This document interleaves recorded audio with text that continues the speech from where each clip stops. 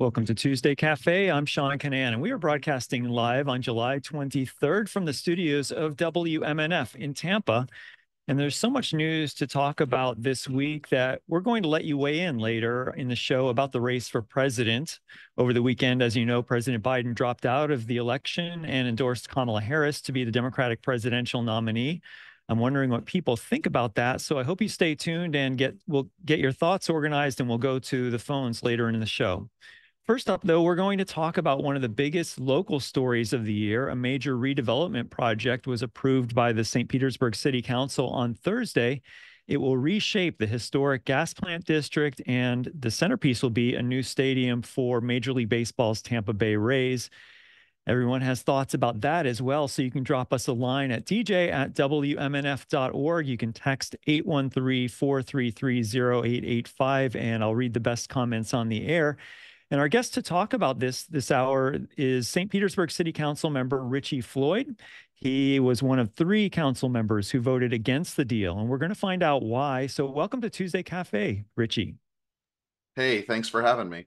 I'm glad you could come on. You know, before we get started talking about the Rays Stadium deal, the redevelopment of the Trop site, maybe I should ask you what your thoughts are about President Biden dropping out of the race for president in 2024. Would you like to share your thoughts? Yeah, sure. Um, you know, it came as a bit of a surprise, although not completely. There had been reporting earlier in the week that it was possible. Um, but you know, uh, I guess the first thing I'd say is uh, I'm a millennial. I'm 32, and uh, there's jokes on the internet that people my age make about just wishing we could live in precedented times instead of always unprecedented times. And so, sort of just goes to that sentiment that you know the world is uh, changing right now and different things are happening. And so uh, big news events uh, seem to be the norm. And, you know, as far as the actual decision Joe Biden made to drop out, uh, I definitely understand. Uh, I watched the debate the same as everyone else did. Um, and, you know, the debate wasn't a huge surprise to me. If you've been following the news, he's taken a step back uh, over the last few years. And so it wasn't a huge surprise uh, really in that light. And uh, I think, you know, it was a decision that he had to make in the end because the primary was already over. And so he made it. And it looks like Kamala Harris will be in line to be the nominee for the Democratic Party. Do you have any thoughts about that? Yeah, so uh, I saw this morning that it looked like a majority of delegates pledged to her. And so that sounds like uh, she'll win on the first ballot at the Democratic convention. Uh, I think it's something that the Democratic Party desperately needed, uh, as you can see from uh, the excitement when it comes to fundraising. Uh, they had the best small dollar fundraising day in the history of uh, campaign fundraising. Uh, some energy was definitely needed on the Democratic side to be able to overcome um, the malaise that had sort of set in and the lack of excitement. And so I'm really looking forward to what the campaigning actually brings since they've raised all this money. Uh, Joe Biden had been spending tons of money in swing states and not making a difference. And so uh, now we'll see a new campaign, a new candidate spending all that money. And I think it'll start to move uh, people, and we'll start to have a real conversation about what the country would look like under a completely different president than the two that were running previously. Our guest is St. Petersburg City Council member Richie Floyd. And before we get to talk about the Rays Stadium, maybe I should ask you to remind people what your background is. Uh, tell us a little bit more about what you did before you were a member of St. Pete City Council. Yeah, uh, sure.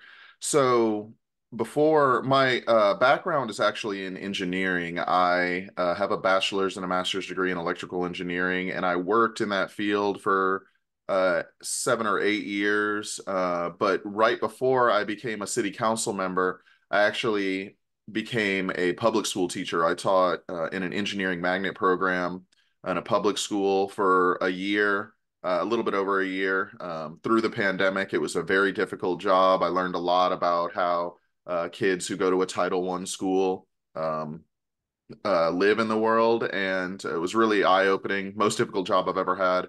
Uh, and throughout my time as an engineer, and especially as my time as a teacher, I was an activist. I uh, worked on issues. Uh, I was one of the lead volunteer organizers for the Fight for 15 in 2020, and uh, participated in all sorts of local issues as well. And so that's kind of how I ended up running for office was my uh, activism that I did in my spare time uh, led me to look for someone to run for my city council member's seat as she was term limited. And uh, I think that looking sort of backfired because it ended up that uh, everyone just insisted that I do it. So um, ran for office, uh, ran a grassroots campaign, raised small dollar donations. Our average donation was about $25, $27. If you're familiar with Bernie, it was very similar to that.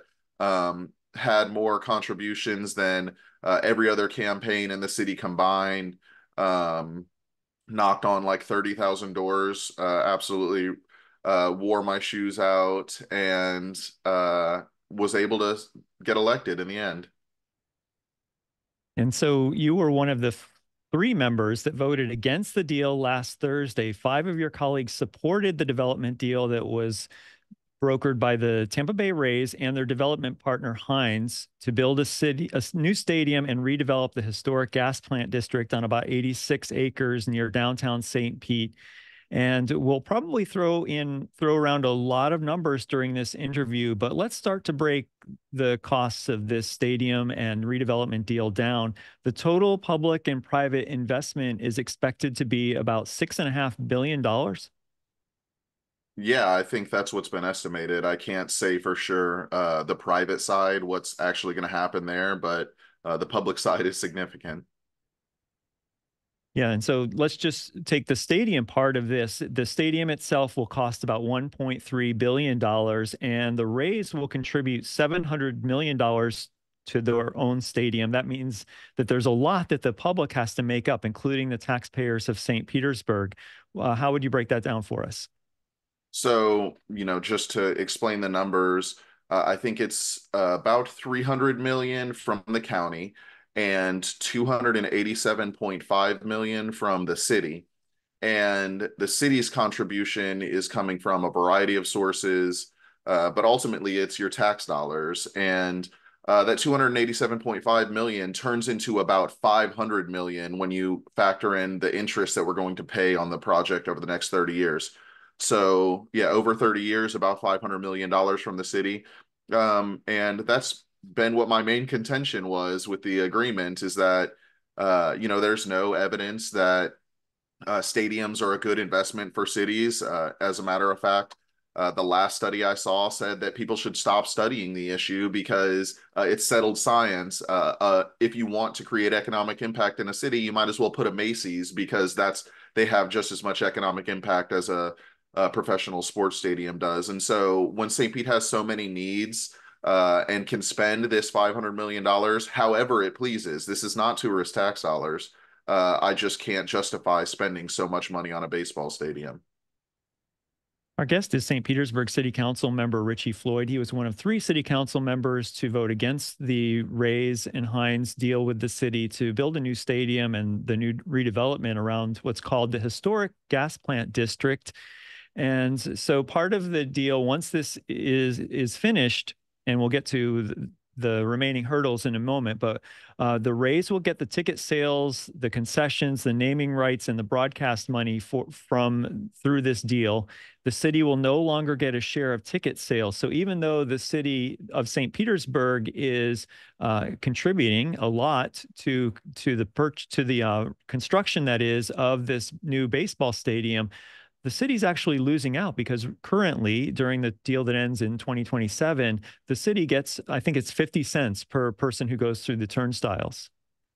Yeah in this new agreement uh, we get absolutely no revenue at all. Uh, zero revenue from the stadium zero revenue from tickets parking. We don't even get to name the stadium uh, and and we don't get the money from naming the stadium even though it's publicly owned. And so uh, that's been a big contention for a lot of people uh, there's no revenue sharing. We're putting money in and nothing's coming back to us.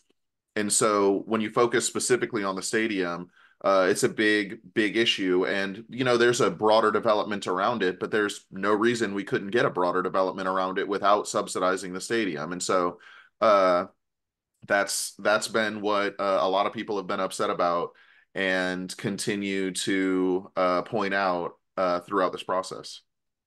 And you're a critic, and so I want to let other voices come into this conversation. Our reporter, Chris Young, uh, reported on this story the other day. So let's hear his minute long story, uh, and we'll hear some reaction from Mayor Ken Welch, who was very excited about this deal. So here is uh, our reporter, Chris Young, uh, his story from last Thursday after the vote. Members of the audience applauded after the vote was made. St. Pete Mayor Ken Welch, who grew up in the historic gas plant district, is a big supporter of the deal. As to the stadium agreement, far from being an unreasonable subsidy or giveaway, it is a major win for our city. The vote came after an hours long workshop with the City Council on Tuesday. There, city administration fielded questions on topics ranging from the stadium's sustainability to affordable housing in the district. Public commenters had mixed feelings about the deal.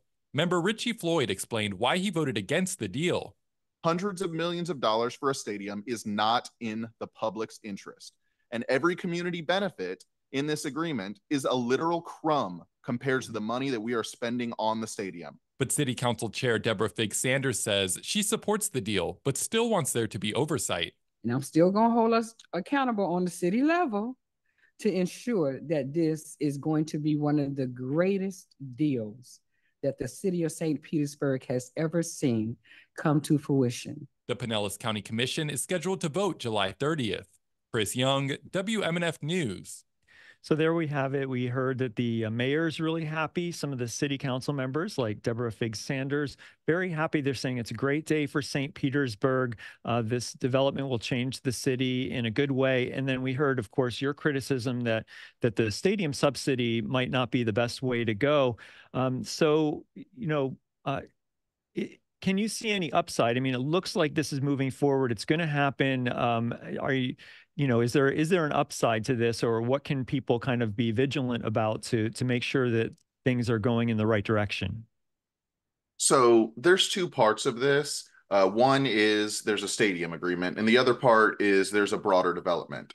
Uh, I have no problem with there being a broader de- broader development. As a matter of fact, I think we need a broader development. The way the land is uh, put out in our city right now, just a large parking lot that's empty most of the time, is not in our city's best interest. Uh, my contention this whole time has been we can get the broader development without the stadium. Well, uh, unfortunately, I wasn't successful in uh, arguing that before the rest of City Council, but we are going to get a broader development. And that broader development could have really positive impacts on the city outside of the stadium money. And so uh, I definitely want people to pay attention to that because there was another agreement that we haven't touched on yet that's laid out what we were going to get in the development that comes around the stadium. And there's some pitfalls to it for sure. Uh, you know, we need to make sure that we're actually getting the things that were promised in it the affordable housing, uh, the jobs, uh, the green space. And so that's where our fight still lies going ahead. Uh, it's going to be difficult because we laid out the terms of it already, but uh, significant oversight by city council and the city itself uh, will go a long way to making sure that we actually get what we were promised there. And I think that's where the battle is, and that's where good things could happen, and we'll just have to see. What's the bare minimum, I guess, for the requirement for the for Hines and the Rays to build out affordable housing in this area? I've I've heard some critics say that well, there's there are some ways that they can get out of it. Let's say weasel out of it, perhaps um, by you know just paying fines to not get enough affordable housing. But what's kind of the bare minimum, and then what would be an optimal amount of affordable housing in this area? So unfortunately, um, I think that the conversation around uh, what the fines they have to pay to get out of it has been uh, misdirected in that there's no affordable housing laid out in this deal. All this deal does is say, uh, you know, the developer hopes to create this kind of affordable housing and they will create it if they are successful in receiving more subsidies from local, state, and federal sources.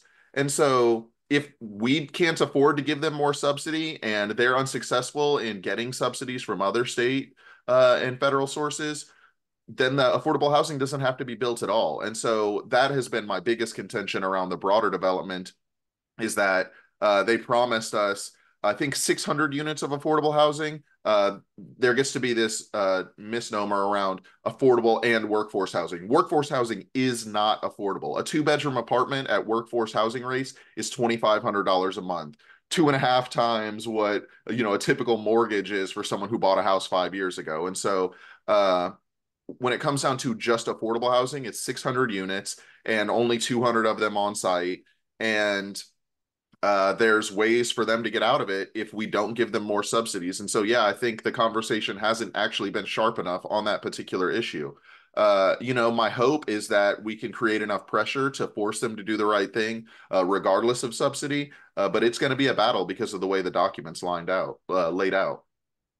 Our guest is St. Petersburg City Council member Richie Floyd, and we're talking about Thursday's vote that approved the redevelopment of the historic gas plant district that includes a new stadium for the Tampa Bay Rays. I'm Sean Kinane, and this is Tuesday Cafe. We're broadcasting from the studios of WMNF in Tampa. We're live on July 23rd, and if you'd like to weigh in by sending us an email, you can do it at dj at WMNF.org. You can text us at 813 433 0885. And later on in the show, we're going to take your phone calls to find out what you think about the latest developments in national politics with President Joe Biden dropping out of the presidential race. Uh, right now, we're talking about the the Rays Stadium deal and uh, what that means for the city of St. Petersburg. So it's uh, in addition to the stadium, the the uh, city, St. Pete, has to also pay for infrastructure, about $142 million for roads, sewers, and other infrastructure in and around this development. Um, so, does that mean that there's some sort of um, uh, uh, choice that this that the city makes in how it in in what it uses that money for, or is it just kind of all laid out in the development that it has to go for these roads and and things just to service the stadium and this historic gas plant district, Richie?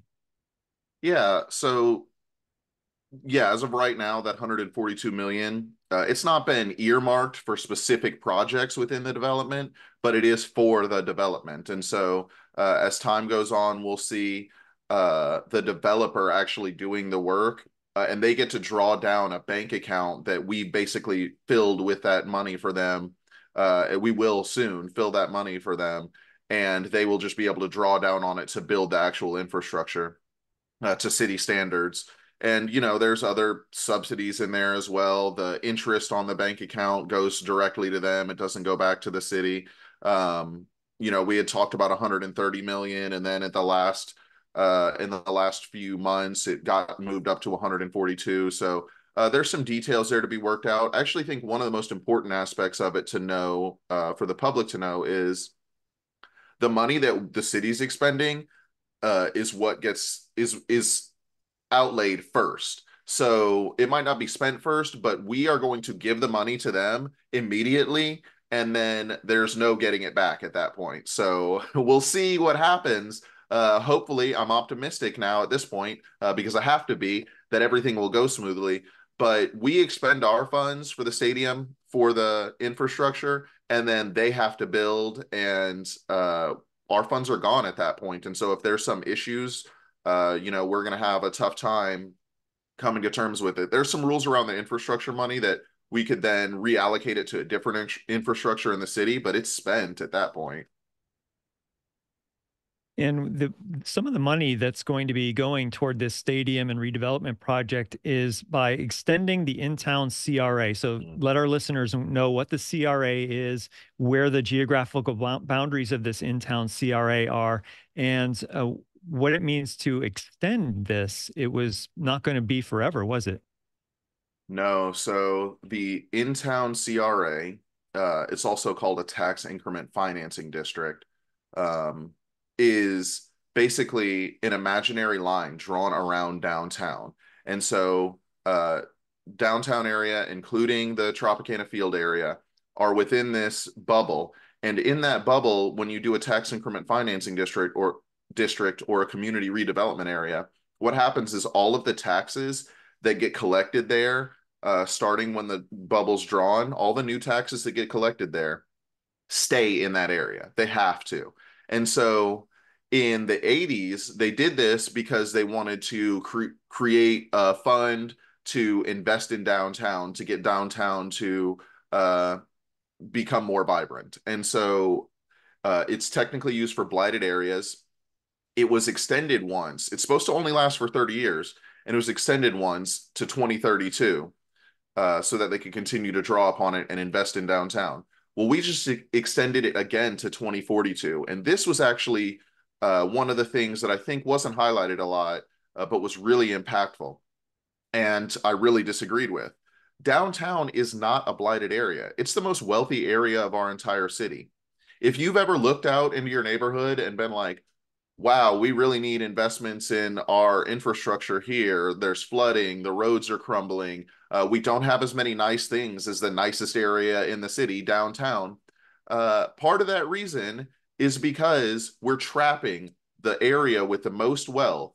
We're trapping all that wealth in that area. And it was a huge, I, I just don't find it just at all that we would uh, continue to invest in an area that already has so much when our neighborhoods need so much more investment. And I was really optimistic that we would be able to end the CRA district ahead of time. And uh, when this deal got rolled out and they said we're going to extend it, it was very frustrating for me. And I know very frustrating for a lot of community activists who want to see our entire city thrive and not just downtown, where there's condos and high rises that, to be honest, aren't for people like me. I can't afford to live there um, and no one I know can afford to live there. And so uh, it's been very frustrating.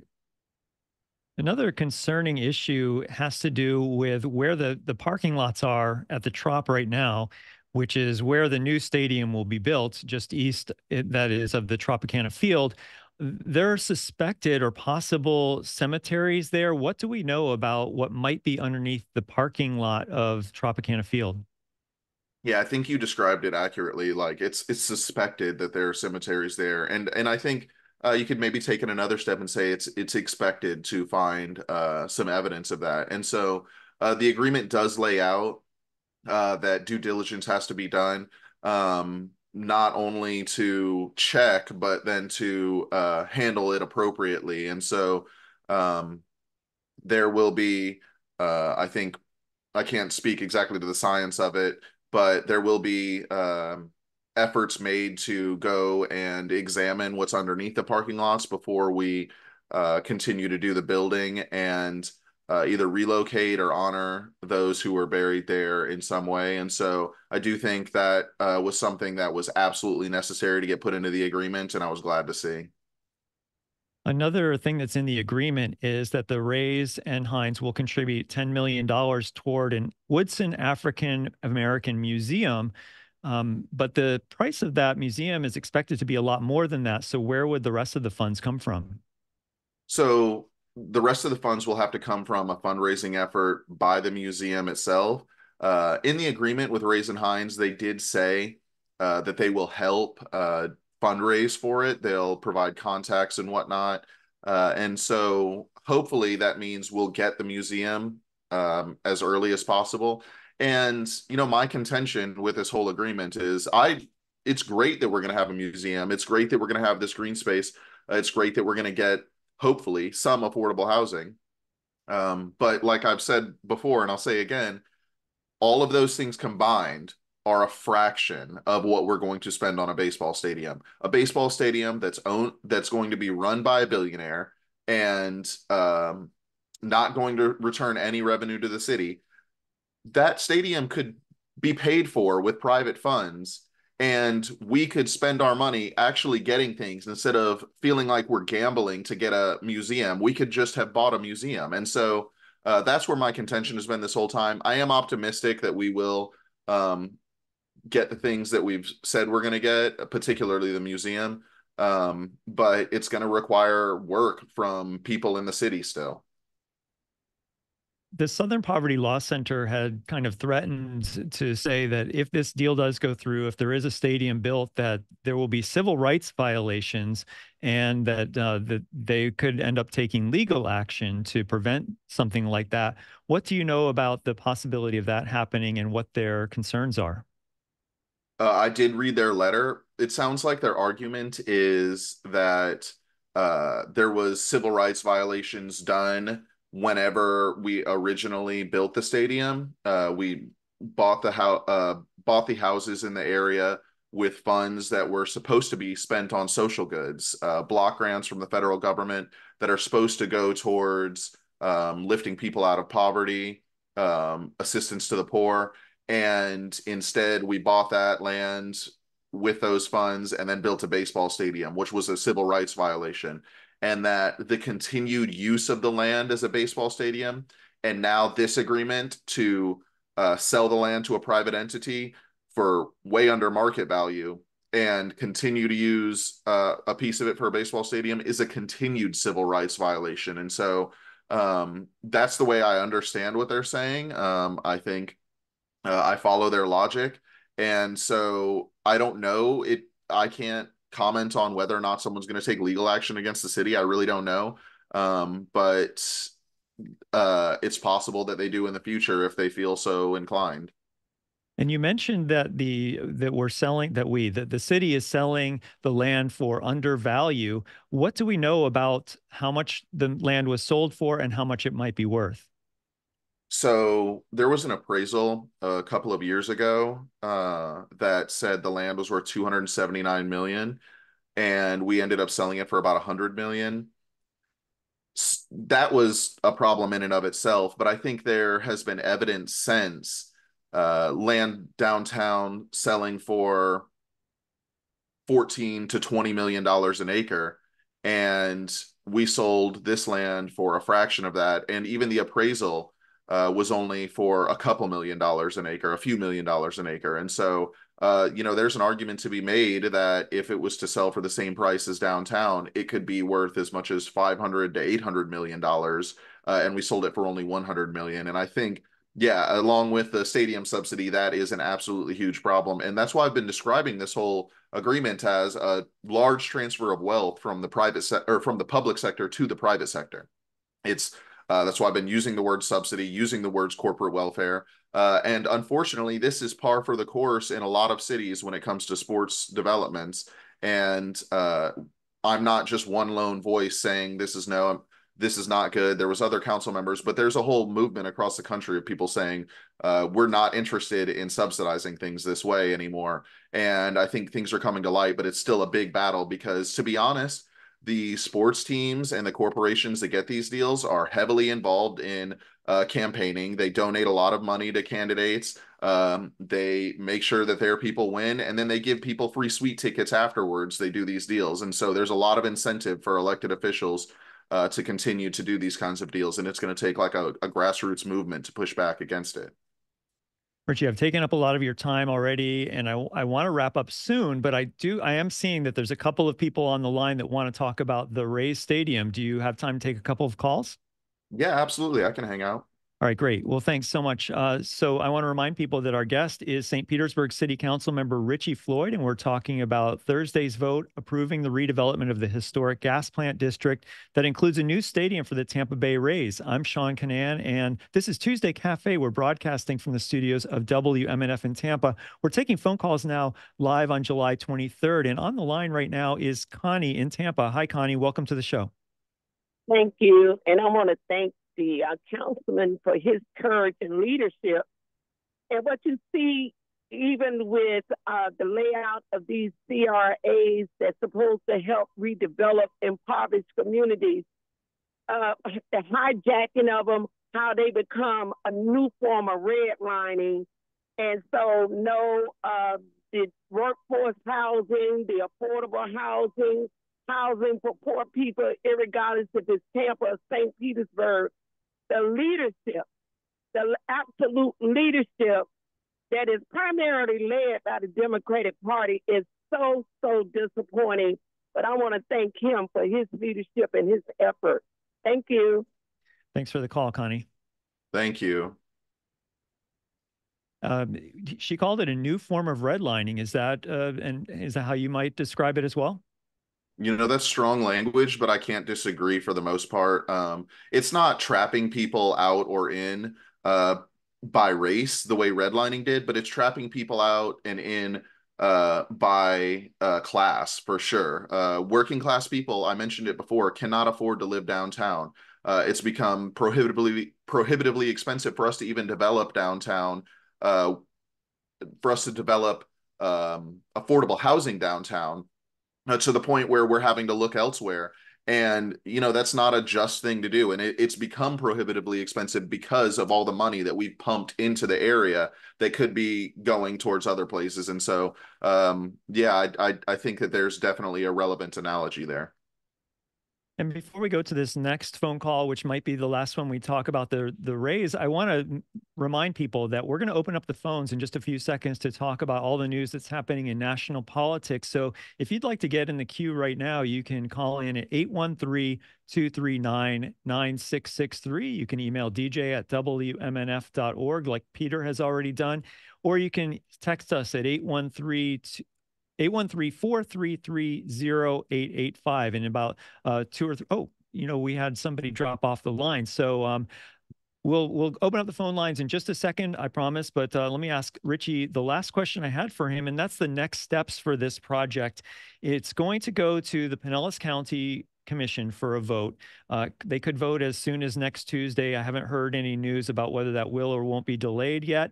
And and the subsidies continue. The Pinellas County is going to vote on contributing 312 million dollars from the tourist tax. So um, if if there are any Pinellas County commissioners listening to this or can get word from what would be your advice to them? What should they be looking for in this contract and whether you think that this is a good deal for Pinellas County taxpayers, Richie?